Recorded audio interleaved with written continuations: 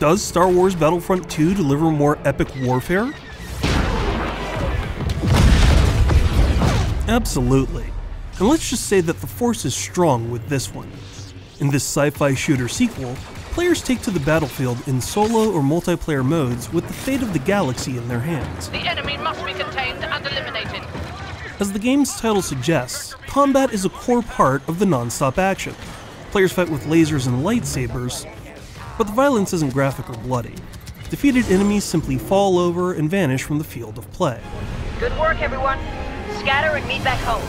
Amid all the intergalactic thrills, the game's internal story touches on themes of loyalty and redemption, with a strong female character leading the charge. Come on. We secure the satellites. Good work, Agent. Common Sense says Star Wars Battlefront 2 is okay for teens 13 and up. For more age appropriate media picks, visit us at commonsense.org.